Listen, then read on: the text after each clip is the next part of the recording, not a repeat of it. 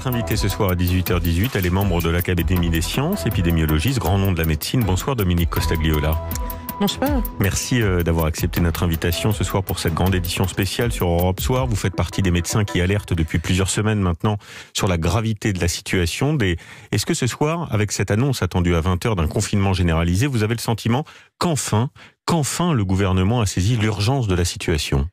D'abord une précision, en fait je ne suis pas médecin. Je suis chercheur à l'INSERM, mais pas médecin. Chercheur. Voilà. Vous avez raison de préciser. Et, donc, euh, je pense que euh, malheureusement, à l'heure actuelle, et compte tenu du niveau de circulation du virus et euh, du nombre de cas à l'hôpital et en réanimation, on n'a pas d'autre solution parce que on n'a pas vu au fond la vague monter, alors que c'était très clair. ça a commencé en juillet, c'était c'est passé chez les personnes de plus de 40 ans à partir de la deuxième moitié d'août. Oui. L'augmentation était claire en septembre. Et donc, du coup, en septembre, euh, d'une certaine façon, la messe était déjà dite. Hum, hum. Oui, vous dites d'ailleurs, l'erreur remonte à la conférence de presse du 15 septembre, quand le Premier ministre prend la parole pour ne rien annoncer. C'est là qu'il aurait fallu euh, agir, selon vous? Oui, bien sûr que c'était peut-être difficilement audible compte tenu des discours négationnistes et puis de, de la façon dont la relation s'est établie entre le gouvernement euh, et le public euh, tout au long de cette crise. Mais je pense que c'était à ce moment-là qu'il aurait fallu euh, prendre le risque politique de dire qu'il fallait prendre des mesures. Le fait d'égrener au fil du temps, mesurette par-ci, mmh, mesurette mmh. par-là, ben, on, on est tout le temps en train de courir après le virus.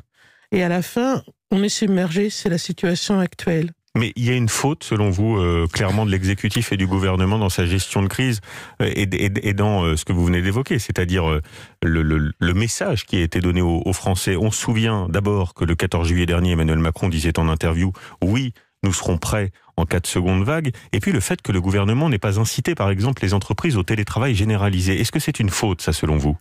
Ben, Disons, moi, avec mon analyse, je n'ai jamais compris pourquoi on n'incitait pas au télétravail dès la sortie du confinement, pourquoi on disait qu'il fallait retourner sur place. Bien sûr, dans les activités où c'est possible, bien sûr, il y a des gens qui ne peuvent pas télétravailler. Mais après, il est juste de dire que, au fond, quand on regarde, il y a finalement assez peu de pays euh, démocratiques qui s'en sont bien sortis. Oui. Pour l'instant, mais on est le pays dans lequel ça se passe le plus mal quand même en Europe. Oh, et qui s'apprête à prendre les décisions les plus difficiles pour une grande économie. Je dirais pas que c'est le pays où ça se passe le plus mal. Je ne pense pas que ça se passe très très bien en Grande-Bretagne. Même en Suisse, ça ne se passe pas très très bien. Et je ne parle pas de l'Espagne. Donc dire que le plus mal, on va attendre la fin de cette crise pour pouvoir juger ça vraiment. Pour l'instant, c'est encore trop tôt, vous voyez, pour euh, faire cette évaluation-là. Alors, euh, Dominique Costagliola, est-ce que quatre semaines, on dit au moins quatre semaines, peut-être que dans l'esprit du gouvernement, quand on dit au moins quatre semaines, ça veut dire que c'est reconductible. A priori, c'est comme ça qu'on l'entend. Est-ce que quatre semaines, ça peut être suffisant? Bah, Disons, quatre semaines, il va falloir deux à trois semaines déjà pour qu'on voit un impact, en particulier euh, à l'hôpital. Hein. Euh, donc, euh, or, c'est un des objectifs, malgré tout, c'est de ne de, de pas totalement emboliser l'hôpital qu'avec du Covid. Alors, après, il me semble qu'un enjeu important, et c'est plus important à mon avis que de discuter est-ce qu'il y a eu des erreurs, c'est quand on sortira de ce confinement. Mais pardon, répondez d'abord à ma question. Est-ce que quatre semaines, ça vous paraît être le bon délai? C'est un minimum pour pouvoir juger si on a un impact. Oui. Voilà. C'est pour moi, c'est la durée minimum. Et je pense que c'est très difficile de dire si ça suffira ou pas aujourd'hui. Et laisser les écoles ouvertes et les collèges ouverts, comme euh, ça semble être euh, la décision que va annoncer le président de la ben, République, si est-ce que c'est une bonne décision? Si c'est avec le protocole actuel, ça n'est pas une bonne idée. Parce que le protocole actuel est totalement insuffisant dans les écoles, euh, où il y a beaucoup de contacts, hum, hum. Euh, peut-être entre des enfants un peu moins transmetteurs, mais malgré tout, à la fin, ça peut faire beaucoup de cas parce qu'ils ont beaucoup de contacts. Donc ça veut dire masque obligatoire pour tous les enfants? À partir de 6 ans, oui. À partir de 6 ans? Oui, c'est que les adultes qui pensent que c'est difficile pour les enfants. Les enfants, si on leur explique les choses, je pense qu'il n'y a pas de souci. Ils le mettront au moins aussi bien que les adultes. Oui.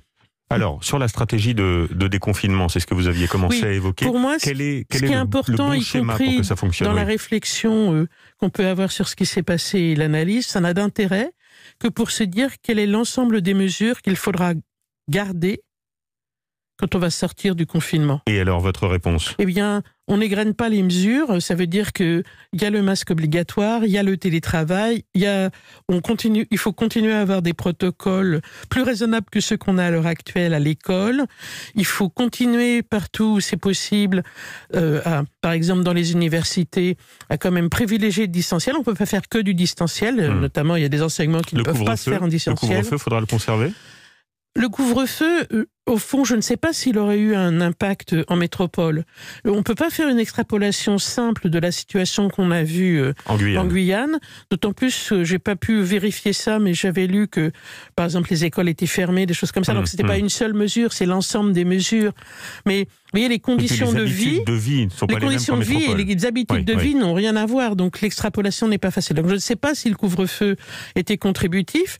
Il peut être contributif s'il diminue le nombre de contacts. Si au lieu de voir les gens à 20h, on les voit à 18h, il n'est pas contributif. Mais est-ce qu'on peut euh, tout de même, Dominique Costagliola, imaginer une stratégie comme on est en train de la vivre de stop and go On vit pendant 4, 5 mois, on reprend une vie normale, on apprend même à, prendre, à vivre avec le virus, comme l'a dit euh, le président de la République. On voit aujourd'hui que c'était une erreur. Et puis on reconfine. Est-ce qu'on peut faire ça trois fois, quatre fois, euh, euh, si on n'a pas de vaccin avant l'été prochain? Non, je pense que justement, c'est la raison pour laquelle l'enjeu, ça sera la sortie du confinement et l'ensemble des mesures et, et les explications pour convaincre les gens qu'il est absolument indispensable de suivre ces mesures si on veut éviter de devoir à nouveau se remettre dans cette situation particulièrement désagréable du confinement. Et bien entendu que cette décision du confinement, que je pense vraiment indispensable à l'heure actuelle, on sait bien qu'elle est beaucoup plus difficile à vivre en fonction de son niveau socio-économique. Et donc, il faut aussi accompagner les gens qui ont le disons les plus mauvaises conditions de logement, Oui. euh, les plus mauvais niveaux de revenus, euh, pour euh, pour que ce soit supportable pour eux. Que répondez-vous au désespoir des commerçants, des indépendants, des travailleurs qui disent aujourd'hui, avec ces quatre semaines de plus, nous allons crever, nous allons crever Mais si on ne prend pas les mesures et que le système de santé explose, nous allons crever tous ensemble collectivement. Donc c'est pas c'est pas un choix qui est fait de gaieté de cœur. C'est parce que la situation est très grave. Et ce qui nous met dans cette situation très grave, ce n'est pas ces décisions, c'est le virus. Hmm.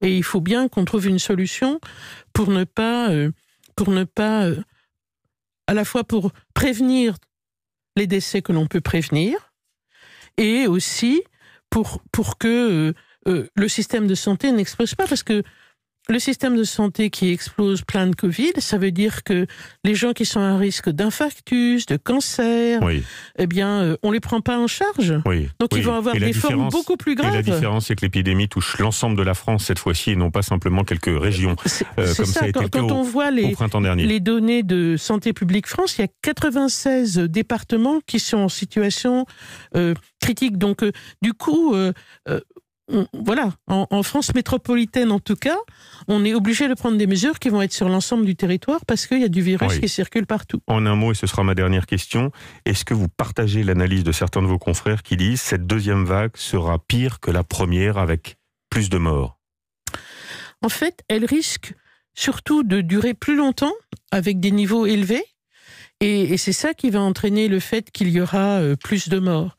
Et puis, Donc Euh, la réponse est oui. pour moi, je, je crains que effectivement, on est, euh, on est un, un- des- d'ores et déjà, puisque les, vous voyez, les gens qui vont aller à l'hôpital les trois semaines qui viennent, ils sont déjà infectés. Donc Hmm. ça, on ne pourra déjà plus l'empêcher, même si ce confinement est utile. Eh ben, je pense que d'ores et déjà, ça veut dire que oui, encore beaucoup de gens vont mourir. Et, et bien sûr, la majorité des gens qui décèdent, c'est des gens de plus de 65 ans, mais les gens qui donc, mais des jeunes, ça peut, ils peuvent aussi faire des Oui. formes graves et on est en train de s'apercevoir qu'il y a un nombre conséquent finalement de personnes qui font la maladie, euh, euh, gardent des symptômes, voire des séquelles euh, Oui. euh, des séquelles. à différents organes et, et peut-être que du coup ça va impacter leur vie et leur qualité de vie pour des Oui, années ce sont et des des années. éléments qu'on ne mesure pas Et par ailleurs, euh, faut pas que les gens, vous voyez, aller en réanimation, c'est une épreuve. Hum, Les hum. gens qui passent trois semaines en réanimation, il leur faut des mois pour se remettre, indépendamment des complications spécifiques de cette maladie. Bien. Donc, euh, le, le, le, disons, le poids finalement de cette épidémie, c'est pas que les décès. Oui. Oui. Message entendu. Merci infiniment d'avoir partagé avec nous euh, euh, ces, ces, quelques mots et votre expérience, Dominique Costa-Gliola. Et on attend donc ce soir les annonces du président de la République à 20h.